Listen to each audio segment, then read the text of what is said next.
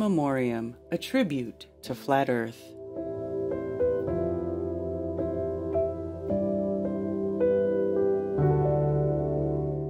In loving memory of Michael Miller, also known as Doc Michael on YouTube. I don't know his birth year, but he passed in 2021. Here are some pictures of Doc Michael from FEIC 2017 and 2018. He was well known throughout the community and he was a really nice man, and we'll definitely miss him in the live chats and at the events. Rest in peace, Doc.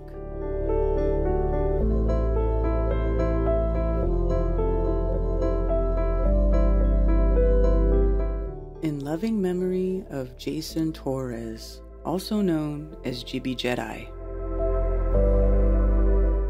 Jibby was the subject of an article about the flat earth that was published on the front page of the Boston Globe, a very good article. Jibby was pretty smart, and I think he's the one who discovered that satellites were balloons, or the first to propose the idea. Hi guys, JJ here. I want to share something with you guys and get, you know, get your two cents on this. High tech NASA balloon is on a trip around the globe. Uh huh.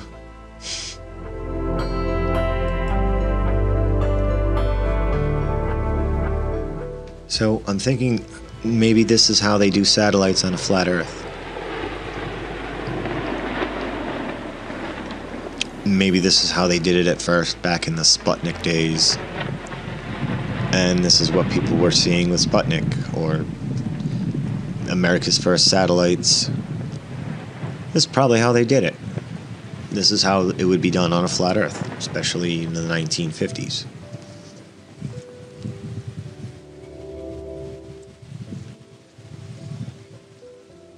One of these things go down, what do you call it? Weather balloon. Saw a UFO. That's a weather balloon. Now this UFO came Oh, down boy. in my backyard. It was a weather balloon. Yeah, weather balloon. These are all weather balloons, aren't they? Technically, that's not a lie. They're designed for handling weather. Right? Is it a lie? No, it's a play on words. And here we go. There's our satellites. Flat Earth satellite, away!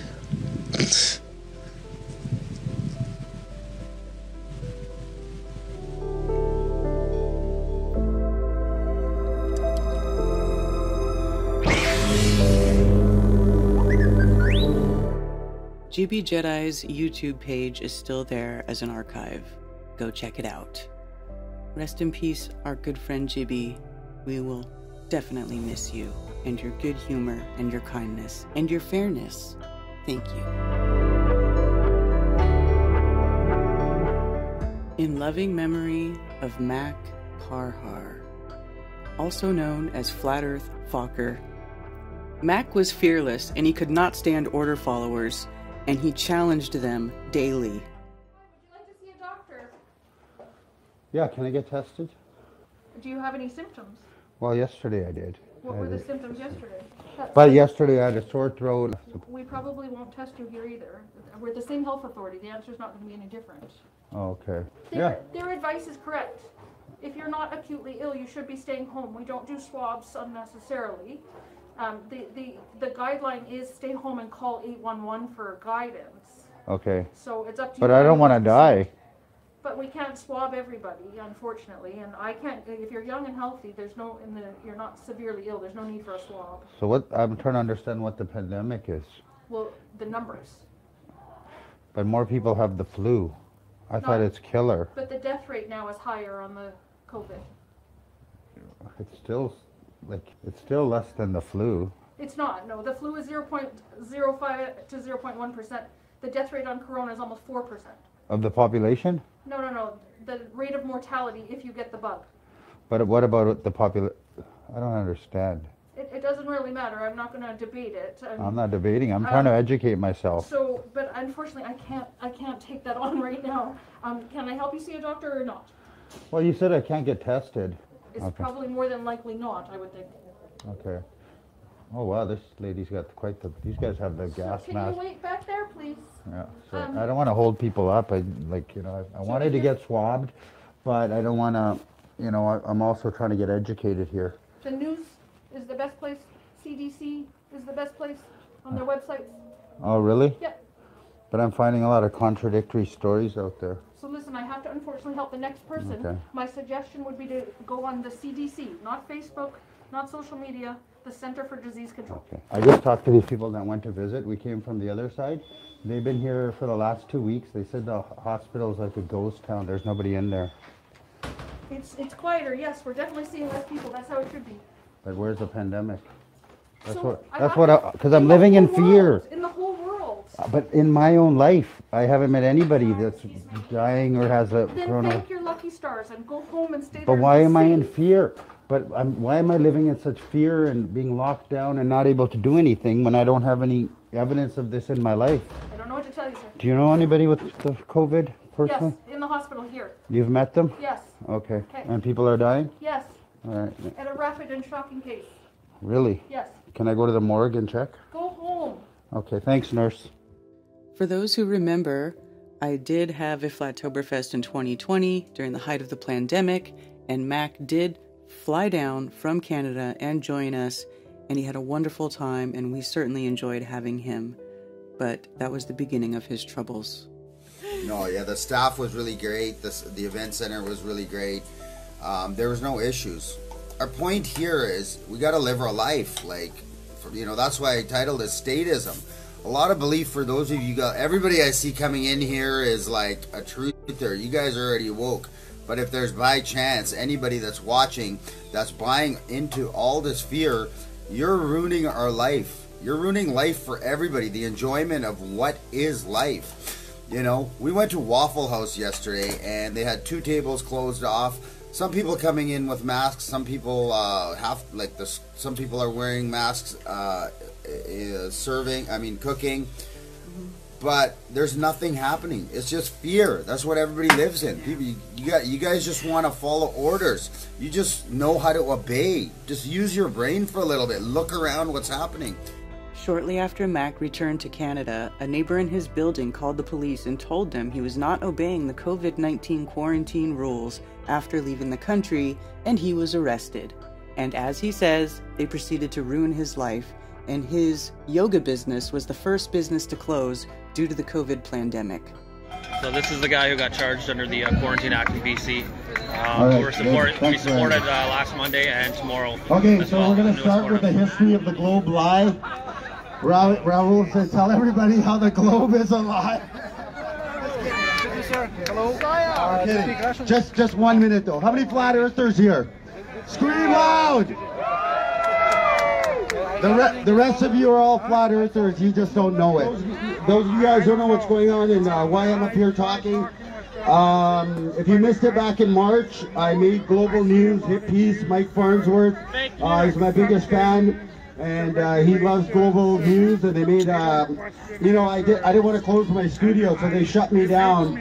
And of course, I got like a lot of hit pieces and etc. A lot of hate from the public, so I lost my business. 11 years in business, and I lost that because of this COVID-19 lie. Um, and then, you know, as that's dying down, I was down at Flattoberfest um, about a month ago. Hey, Donald. I was down at Flattoberfest and it- for five days, six days, four days, two days of travel. I come back. They want me to self-imprison for 14 days after a four-day trip. And you know that quarantine act, like it's basically they're like, go keep yourself in your own prison. And uh, I wasn't going to do that. And I got, uh, you know, I gave him a little hard time at the uh, airport, so I got flagged. And then I got a neighbor that doesn't really like me, kept phoning the police and public health on me. So they had to make an example out of me.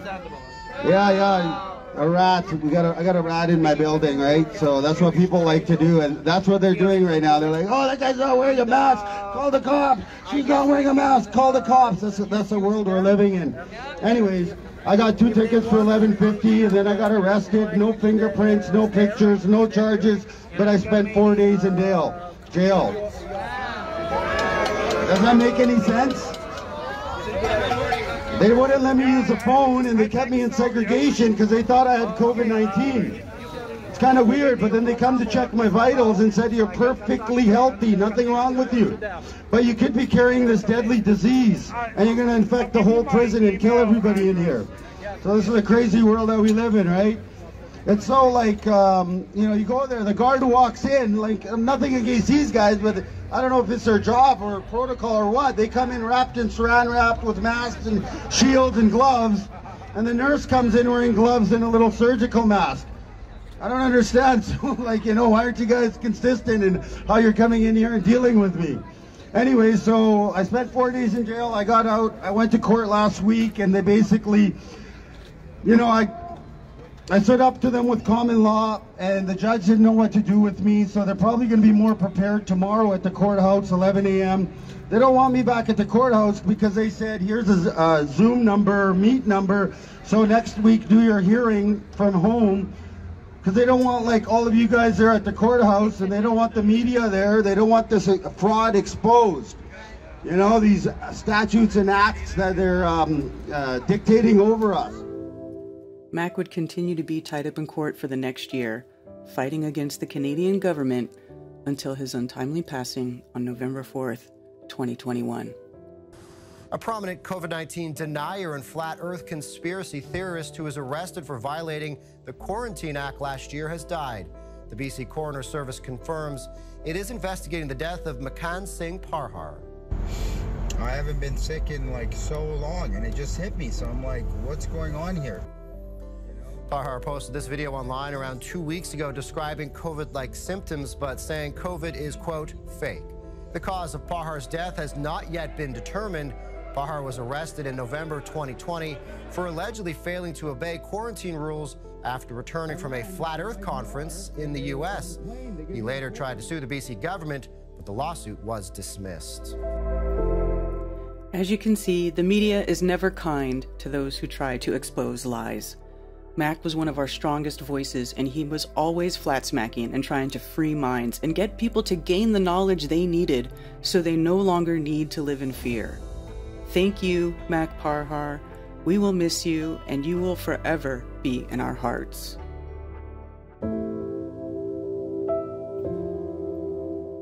In loving memory of Mike Helmick.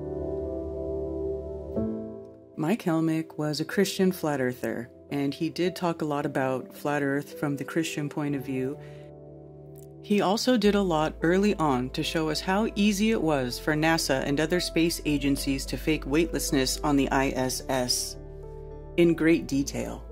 I'm going to show you in this video how NASA faked zero G without a Vomit Comet or a zero G plane. Now I've heard a lot of theories from other flat earthers of some big energy fieldy sound wavy uh, thing that pushes matter up in the air through sheer energy. But uh, but to be honest, some of the theories did sound like two healthy choices to me. No, I've been praying about it, and the Lord finally revealed to me uh, one video. And I work with Blender and Unity, and I've been working with special effects software and Photoshop for quite a while now.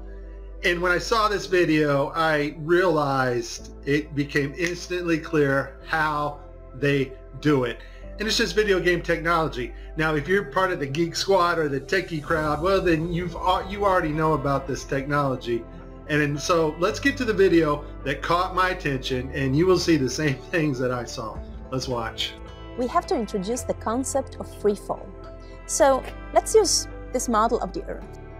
And let's enlist the help of a friend, Paxi. You might know her.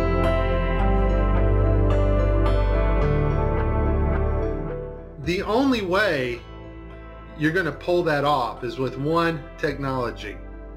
And that technology is virtual reality. More importantly though, something called augmented virtual reality. Now before 2012, NASA used masking techniques like much like we do in Photoshop and After Effects.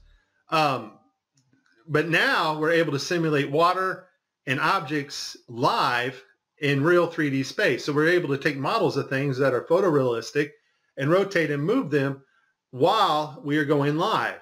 Um, before, we used to have to render these effects frame by frame by frame, and it took extremely long amounts of time.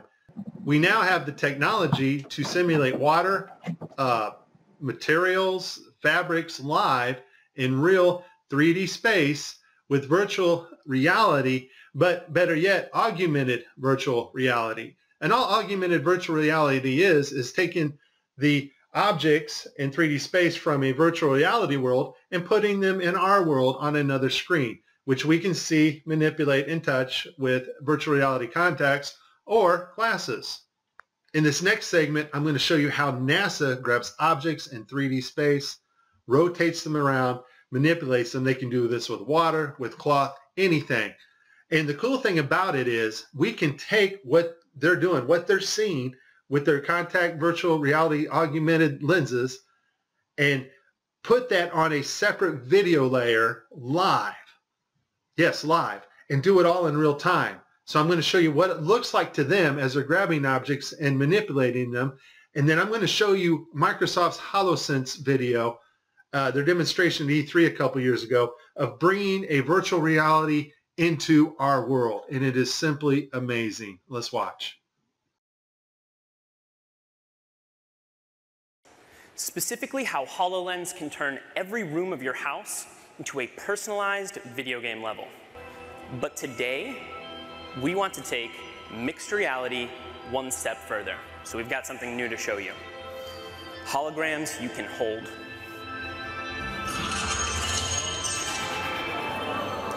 This holographic gauntlet is the weapon that Dan will be using while playing Project X-Ray. You'll notice that as he moves his arm, the hologram moves as well. This is a wearable hologram. And when you combine technology like this with the environment understanding of HoloLens, you can do some pretty spectacular things.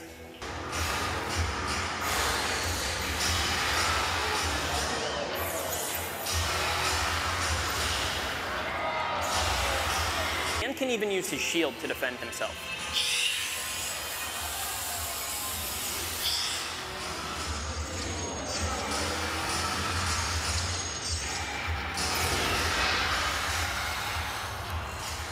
Nicely done. Looks like that's all of them. Okay, so you see to the right, this guy's flipping this hat. This hat's actually on another video um, channel in 3D space. It's virtual reality. He's they're wearing augmented uh, contact lenses so that they can interact with these 3D objects. Now, in this scene, the guy on the left in the green shirt, he thinks he sees an object in 3D space that's being broadcast to him so he grabs it and he puts it off to the side.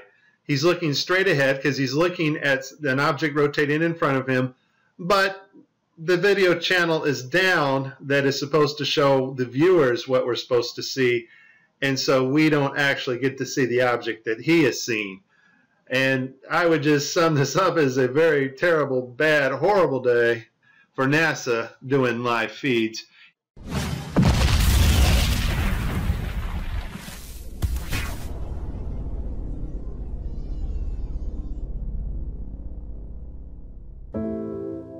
Mike Helmick's YouTube channel still remains as an archive.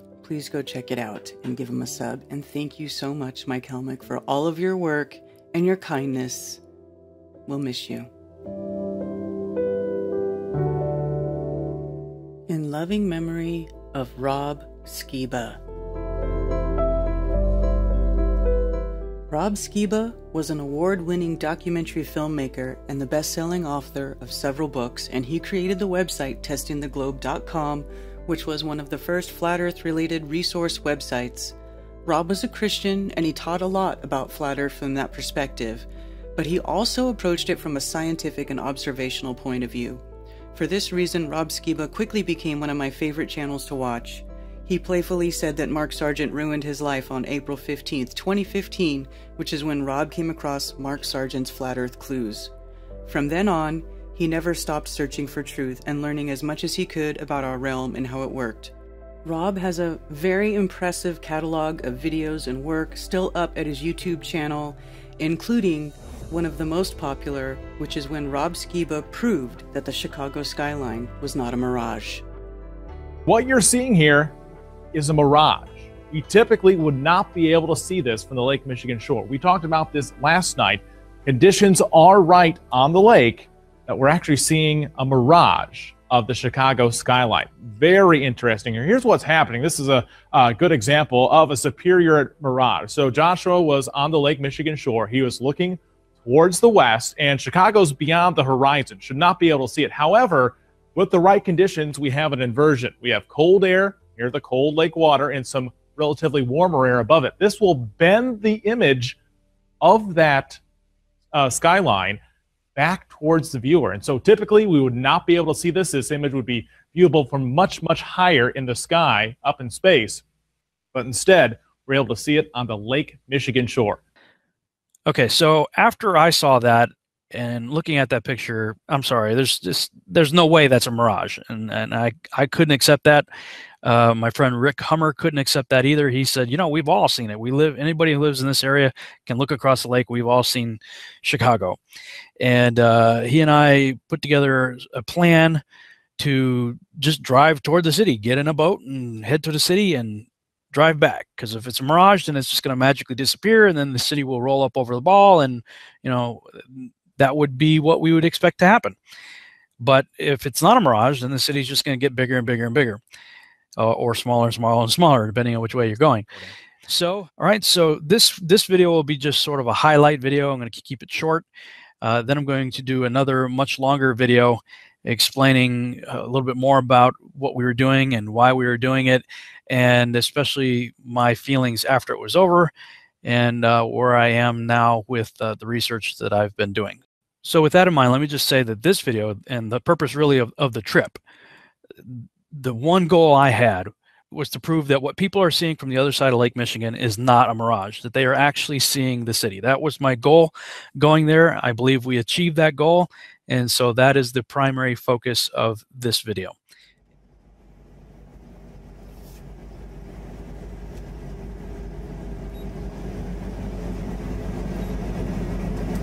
So here's our boat, New Buffalo Harbor, and this is where we fish out of. So we'll take the range out to be southern Lake Michigan. Cool. That'll give us There's distance. The, yeah, that'll give us the distance when I move the cursor over to the river. So that's all the way across. It's 37.07, 36.87 miles to the pierhead there. Cool. We'll awesome. shoot for that, and then as we get closer, you guys can just tell me which shot you want. Okay. So we got a 280 degree heading for 35, 36 miles. All right. So we'll get we'll get trucking over that way. If you need to slow down, just let me know. I'll go about 28 miles an hour, hour or so. Cool. So how far are we right now? 37 nautical miles on a heading at 280. And okay, so what do you think, Rob? I can I can see Chicago. We're about 42 miles away. I can see it. The problem is trying to get the right the camera's having trouble focusing on it because it's moving up and down and it's so zoomed in. But I can totally see it. But it's just not fast. That's amazing. 40 miles away.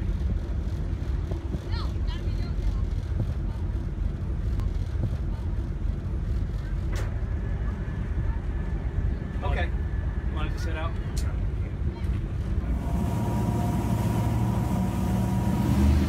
Here we are. Heading out. Lake Michigan. Woohoo!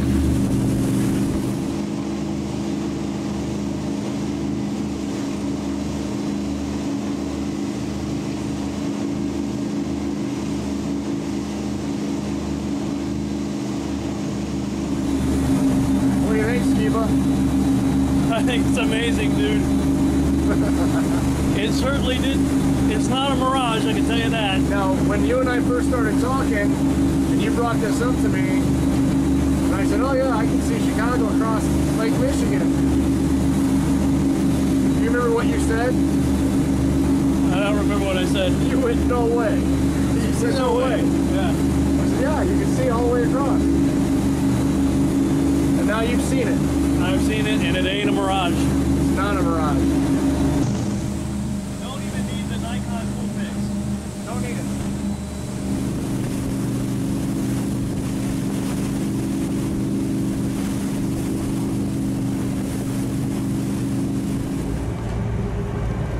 That's a heck of a mirage right there. Say that again, Tony. That, that is a heck of a mirage right there. Yeah. And hey, just so you know, this whole time, what has been our heading? Our heading has been 280 degrees, which is just 10 degrees uh, off of due west. But we also were using what was our focal point? Our focal point was the Sears Tower, which is also known as the Willis Tower, right? Yes, the Willis Tower. The Willis Tower, and we can see it the entire time. We can see it the entire time, and every morning that I fish, I can usually see two of the three. And then when the sun hits the city, you can see three of the three almost every morning, as long as it's clear. And is it because there's a haze and it, you finally like cutting through the haze? There's yeah, it finally cuts through the haze. The sun angle, as soon as it gets high enough, it hits that white building and it just shines. Gotcha. When it's zoomed in, it's almost impossible to to keep it. But you don't even need to zoom in. I mean, it's right there. 27 miles out. Hey man. Well, we're on the bow of the boat. So Rob, explain what you're seeing on the haze. Purple haze, man. well, see what a lot of people mistake as, no. as a as a curve. It's Yeah. the haze. I've become more and more convinced that what we think is the, the, the water being uh, obscuring the bottom of ships is the same illusion that we see when we see uh, uh, cars driving out in front of you on a long straight road. Yeah. That, that looks like the car disappears wheel first into the road, and, and it looks like it's almost going into water. But it's not. It's just a mirage. And then when you drive to the same spot, the car that disappeared in front of you, when you drive to that same spot, now all of a sudden you disappeared uh, to the guy behind you. Right. So I believe it that what we may be looking at is an optical illusion. Well, uh, I mean, if we want to talk about a mirage, that's not a mirage. That's not a mirage. But what, when we see things disappear, I think that what we're seeing this is, is disappearing due to a mirage-like effect of the water, and we can see the haze at the bottom of the city right there, obscuring. Well, and that's, yeah, that's go ahead. Go ahead. Obscuring the, the haze right now is obscuring the bottom of the city. You can see that right there. But I think that we also see the same effect with water. That water can do the same, create the same type of illusion that we're seeing with the haze right there, obscuring the lower part of, of uh, a city or a boat or whatever you're looking at across the way.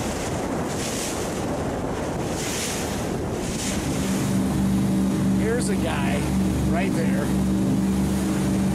that I do believe is going to finally come out and say it's flat. It's flat. And we were about eight nautical miles uh, off the coast of Chicago there, and uh, didn't really see any need to go any further. We we saw everything we needed to see, and we were running kind of late, needed to get back, and actually running a little bit low on fuel too.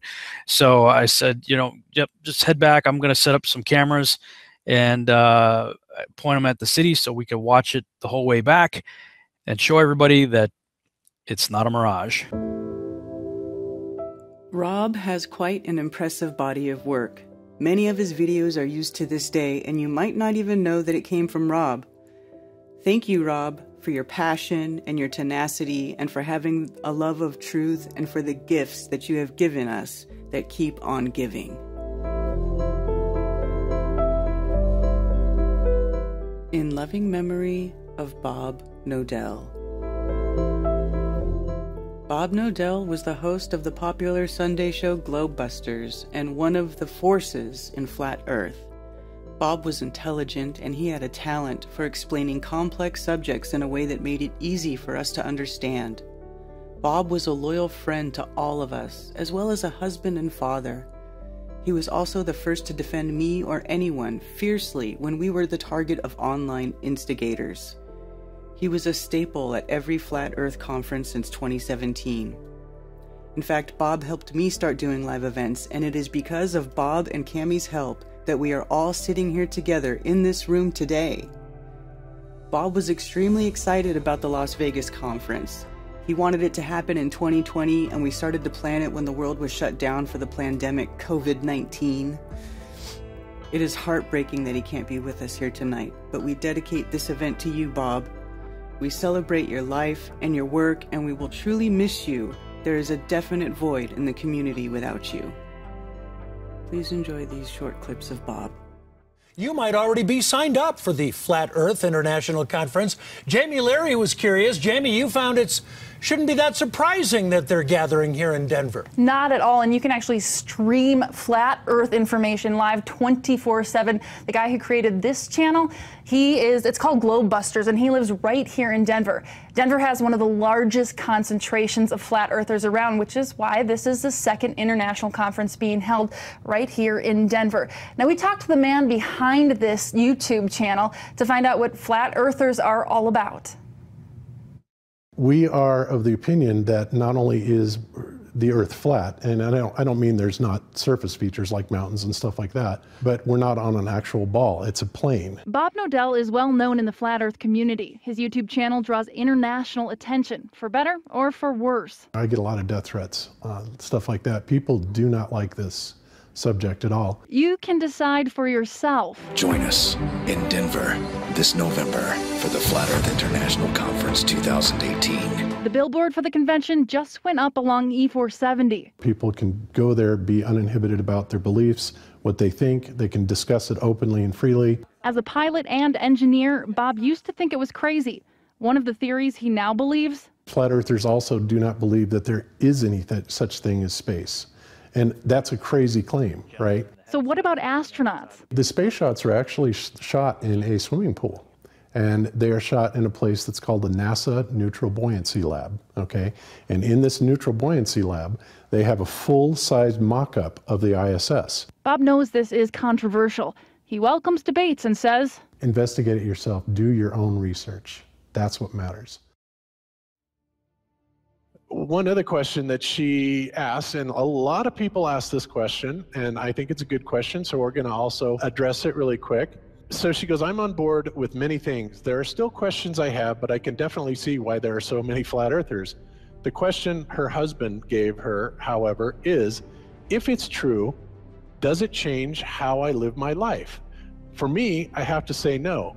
It would be nice if it's true for the government to acknowledge and stop charades. However, I find it really hard, especially knowing someone that works for NASA and his job is to get new packages ready, uh, yada, yada, yada. So, again, what difference does it make? Like I said, that's a great question. This is something that is not an easy answer because of the magnitude of what we're talking about here. How it will change your life, first of all, when you understand it, is dramatic, to say the least. Will it change you from having to go to your job every day and the things that you typically do every day? No. But when this knowledge becomes more mainstream and these agencies are starting to be held accountable, and you understand that they're all participating in this, not just the United States government, not just NASA, but China, Russia, India, all of them have space programs. They all have the same symbolism. They're all doing the exact same thing to their citizenry. And the first thing you have to understand about this is that the deception goes all the way to the top. And when I say all the way to the top, you have to kind of get rid of the notion that the people at the very highest levels are working together. The people that control the world are not, we're not against each other. There was never any such thing really as the Cold War. We're really not enemies with anybody else. This is all a facade that's being brought on for our benefit. But the people that are in power, that have all the money, the Rockefellers, the Rothschilds, the Morgans, the on and on and on, these are the people that literally run the central banking system, which of course has permeated the entire world. And any country that tries to get away from it, their leaders are quickly assassinated. It goes on and on and on. So you have to understand conspiracies a little bit to understand the magnitude of this deception. So, why would they do this? Why are they trying to hide the fact that we are on an infinite plane uh, or on a flat earth rather than a ball? Well, the answer to that, eh, there's a lot of answers to that, but in my personal opinion, if you isolate people into the idea that they're on a blue marble that's in the middle of a universe that is really insignificant and there's thousands or millions and billions of other worlds and possibly other civilizations, that makes most people think that we are insignificant and that we did actually come about as some sort of an accident. Now, when people believe that, their minds are much more malleable into being given the idea that there is no God, there is no creator, that all of this is just some sort of random happenstance. And because of that, that also gives the controllers this fertile soil to build other deceptions on. And it's all about control. Remember, it's not about money. Money is irrelevant. They print the money. Money is just something that you and I agree has value, but it really is just pieces of paper, right? These people are printing the money. They can print money all day long if they want to, and they do. so it's not about that. And it's not just about power either. It's about total control mental, physical, spiritual, every way, shape, and form possible. And to wrap your head around this type of deception, whether you're religious or not, if you're religious, then you understand that this is Satan's plan all along. If you're not religious, then you need to understand that people are power hungry and they will do anything to gain and maintain this type of control. Bob, great to meet you. Nice to meet you. Unlike many of the people I met at the conference, whose flat earth beliefs stem from a literal interpretation of the Old Testament, Bob's approach is based on scientific rationalism. I've always been a little bit different. I've always seen the world a little bit different. I was put in special schools. They said that, you know, I had a genius IQ, which, you know, whatever. But I had a hard time relating to other people and the world in general. I never was able to understand why the world seems to be so messed up. You know, why all these wars? Why all the killing? Why do they spend so much money on things like this when they could just spend that same money and fix the problems? If you were shown conclusive proof of a globe Earth with your own eyes, Mhm. how would you feel and would you be able to adjust your viewpoint to match? Honestly, I would be relieved. I would be, because that would mean that this nightmare is over. Is it a nightmare?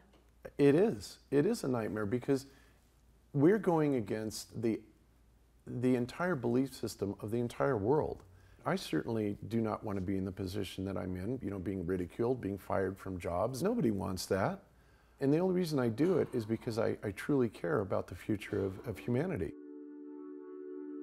Bob took me up to the Red Rocks Amphitheatre on the edge of the Rocky Mountains to cast a view out over the flat horizon. What are your hopes and expectations for the future of Flat Earth? My hopes are for all this to go through as, as seamlessly as possible without, you know, bloodshed and without, you know, too much conflict. But the people that really run this world are not going to let go of that power easily. In the short term, things are going to get a lot worse before they get better. But when things do start getting better, we're going to go into what I would term as a more utopian type of word instead of dystopian like we're clearly headed for. Everyone I've spoken to, when you really boil it down, what people want is the same as what anyone wants. To have some sort of agency, to be relevant to something, to have love, all these things. Yes. Do you feel then that, that Flat Earth really, really delivers that in a way that the Globe Earth never could, perhaps? Of course, people are going to want to feel like they're part of something and not so insignificant. You know that that makes perfect sense. So yeah, when you when you realize that and you realize that this world is much more special and you are much more special, then yeah, it makes a huge psychological impact. Absolutely. And from the deepest depths of all of our hearts, Thanks, God.